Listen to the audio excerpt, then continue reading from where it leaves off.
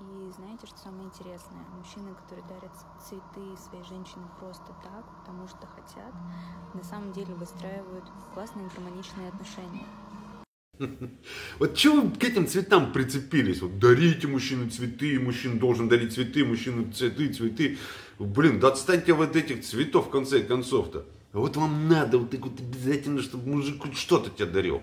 Кстати, расскажу вам сейчас прикольную историю, которая произошла со мной вчера.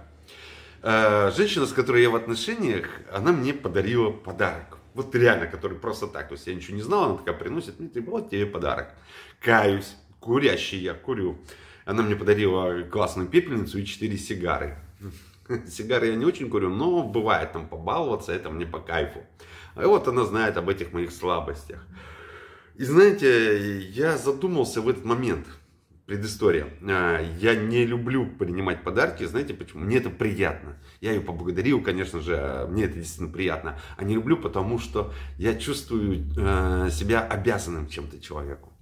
Ну так вот, я сижу и задумался, а когда я ей в последний раз дарил?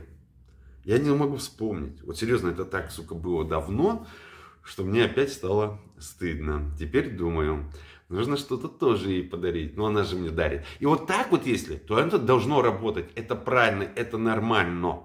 Но когда женщина требует что-то с мужчиной, постоянно ты должен, цветы, там еще что-то. А сами женщины, вот вы, когда в последний раз просто так дарили подарки своим женщинам, ой, мужчинам.